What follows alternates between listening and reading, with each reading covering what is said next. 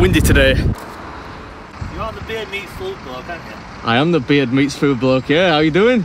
Alright, mate. A little bit of advertising for your company there. Is that yours? Hydra Quip. Oh, Our lass knows you. She just can't take a picture you to prove that it's you. Yeah, of course you can take a picture. Looks a bit weird, Well, she, she won't believe you otherwise. No, she doesn't. What a nice chap. All right, let's hit the road. Today we're going to a little village called Pickering. I remember when I picked a ring for Mrs. Beard. That was six years ago now, and we're still not married.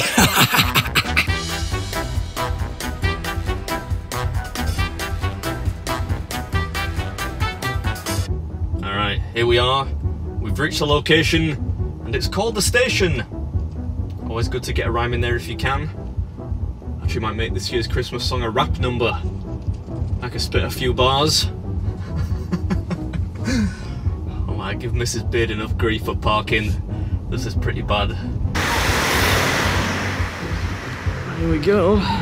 Uh, bar or lounge? I assume the lounge. I don't actually know if I'm in the right place here. Somebody's singing Cher pretty loud. Chose the wrong side. Yeah, I'm, I'm doing well, thank you. A little bit Cher on the on the radio. Nice. What's your favourite Cher song? If you had to pick a Cher, yeah, I think my favourite. You're gonna be. This is a bit embarrassing, but you know the Shoop Shoop song from Mermaids. Yes. If you wanna know, yeah, that's my favourite. the landlady just told me that there's there's a head. So is what is somebody? They're not buried there, are they? Surely. No, no, we hope not. No, but it's just that somebody's got a tombstone there for some reason. I love those, by the way. That's a. You, you, you're the owner of the establishment walking around in flip flops. Yeah. Nothing to say that I own the place. Like walking around in flip These are- flops with my socks on, no less. These are my kitchen crocs. Uh, Alright, don't eat me, don't eat me.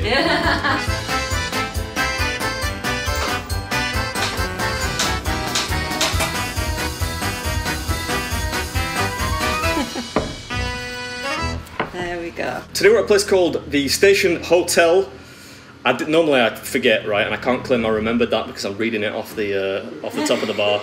And I'm taking on their uh, their mighty Parmo challenge. A Parmo is a Teesside delicacy. It's uh, it's kind of like a chicken schnitzel covered with cheese. This has kebab meat in there though, quadruple cut chips and uh, coleslaw. What's this stuff here? Garlic yogurt. Right, you get 40 minutes to do it. Yeah. It's been done once before, and it took the, the guy 38 minutes. Yeah.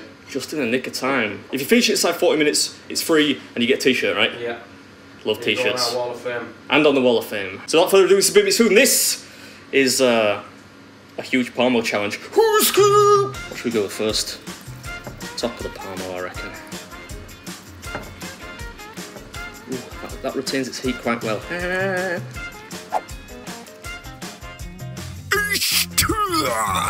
We're still been having welcome back to another installment of Man tries to eat lots of food for glory and garments. The garment in this case being a, a pretty traditional winner's t-shirt. Ooh, this is still pretty hot. I'm not sure it's customary to eat a parmo with your with your hands, but I'm doing it. Uh, there's a surprise. Wikipedia, by the way, defines a parmo as a breaded cutlet of chicken or pork topped with bechamel sauce and cheddar cheese, if you didn't know. I'll do some of the coleslaw. What? Have you lost your mind? Going for the coleslaw this early? Something must be wrong. Might have cooled off a little bit now. Oh yeah, now I remember. I went for the coleslaw because the, the parma was still scorchingly hot.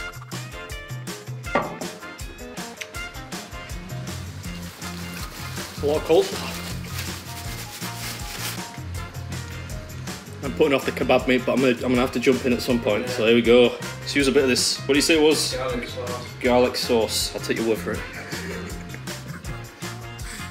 Yeah, I don't know, it looked a bit primordial to me, like some kind of ancient living goo. Still, the taste did distract from the uh, the kebab meat. There was a kink in the table, so I propped it up using this. I think we'll be alright now. there was a kink in the table, but that did not make it much more stable. Oh, that, oh, that rhymes. Hey! but it did make it more uh, visible, let's say. So there's that. Here's just wanted to cool off a little bit. The landlady was telling me beforehand that she's got a, a fear of seeing people choke to death, which is why she's disappeared now. This is wrong.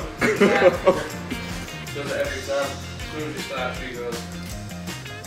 Yeah, the landlady was afflicted by pseudo-dysphagia, otherwise known as fear of choking. Clearly didn't know, you know, we're, we're professional over here. That's, that's not going to happen, probably. You know, given that chips and kebab meat are two of my least favourite things, I'm enjoying this very much.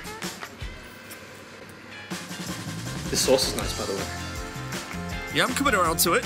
It didn't look the greatest, but um, I, I would describe it as more of a garlic yogurt. It, it had a certain charm. I'm gonna eat this how it's supposed to be eaten now. No, come on now. No, nobody's buying the argument that a parmo is a handheld snack. it's the opposite of that. You're supposed to eat a parmo with uh, some degree of courtesy, a knife and fork, you know, carve it up while you're eating it with your granny on a Sunday afternoon or something. This was a good parmo though. I mean, I, I, I'm not the world's biggest fan of parmos. Something about crusty chicken, which is then topped with gooey stuff, which feels a bit weird to me. But this was enjoyable. Oh, my beard? Is it alright? I don't really trust these two, yeah? It's, it's okay? It's alright, yeah. It's got little crumb near it. It's, I've got a crumb near my lip. Is this making you want to order a parmo? Make me hungry. Yeah? Yeah. Weird, I normally have the opposite effect on people. Yeah, no greater truth was ever spoken.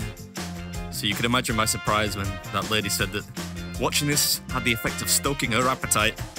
It was probably just the melted cheese, though. I mean, all I have to do is look at melted cheese and it, it makes me hungry. We're almost done with the second Parmo now.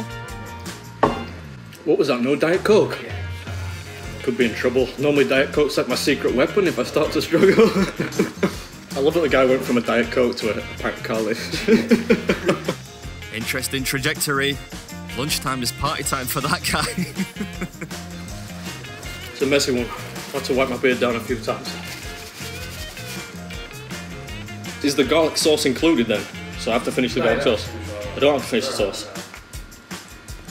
We'll finish it anyway.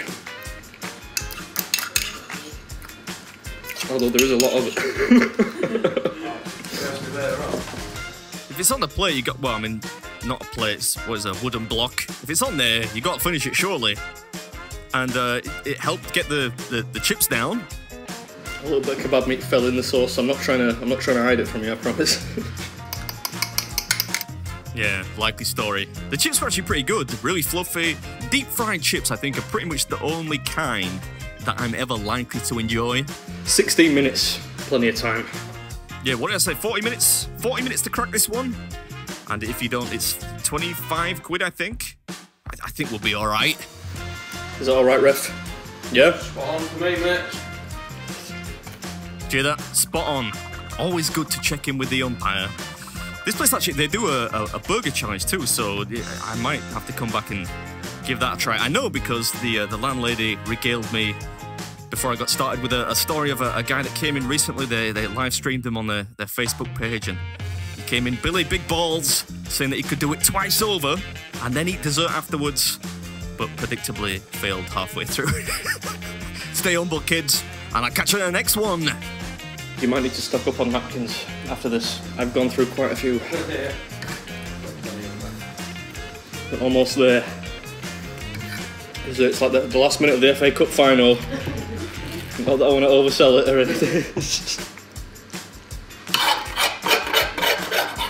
Right after that. Right after No effort at all.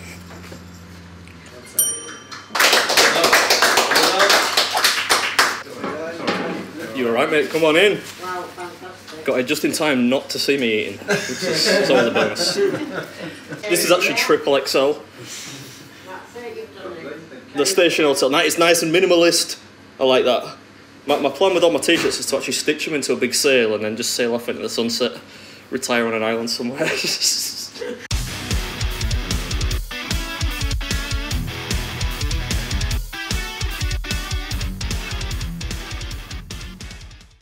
I'm gonna send the pictures to my mum. She loves it. I think she eats it like five times a week. Yum.